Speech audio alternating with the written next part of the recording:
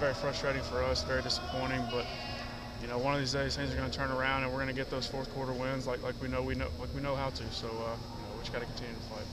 Having not played in a bowl game last year, I mean, how much more of an incentive is it this season to try to get back? I mean, how difficult, just how tough was it last year being home for the holidays? Yeah, it was tough. It was tough sitting at home watching all those bowl games. You know, knowing that you should you should be in one of them.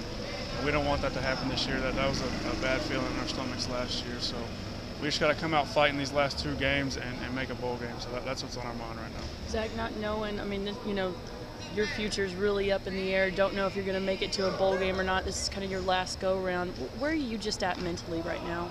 Um, really just trying to finish the season out. I mean, we're, we're, playing each Saturday as they come to us, and you know we can't look too, head, too ahead in the future, and you know we just got to focus on the present. And, you know, I got one more game left in this stadium right here, so uh, you know that's kind of on my mind. But we're obviously focused on Vandy this week. Now, when you first signed with Tennessee or first committed to Tennessee, obviously Tennessee was not used to being behind Vanderbilt in the standings. Just how has all this changed over just your short career here? Yeah, it's been a definite change, but uh, you know, give all the credit to Vandy because they're, they're doing a great job right now, and they're confident in what they do, and they're doing a great job this season. You know, under under new coaching, and they believe in what they do, but. Uh, you know, we got to continue to, to be what Tennessee is, and you know, hopefully carry the fight to Vandy. What is Tennessee at this point?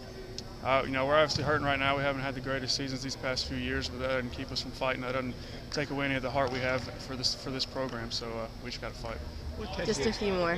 Just what catches your attention about Vanderbilt's defense? I know they had to replace a lot of guys after last season, yet they're still. Yeah, no, they're still very disciplined defense, and they're still you know competing in the SEC every week, and you know they believe in what they do, and, and they execute it very well. And then being a senior this year, what is the trip to Nashville? I know your home roots back there. What does this game mean to you? Uh, it means a lot. You know, I got a lot of family and friends coming to this one, so I definitely want to do my best uh, to show them, you know, make them proud of me or whatever. But at the same time, I'm still fighting for this team, and we're fighting for each other to, to get these last two wins. And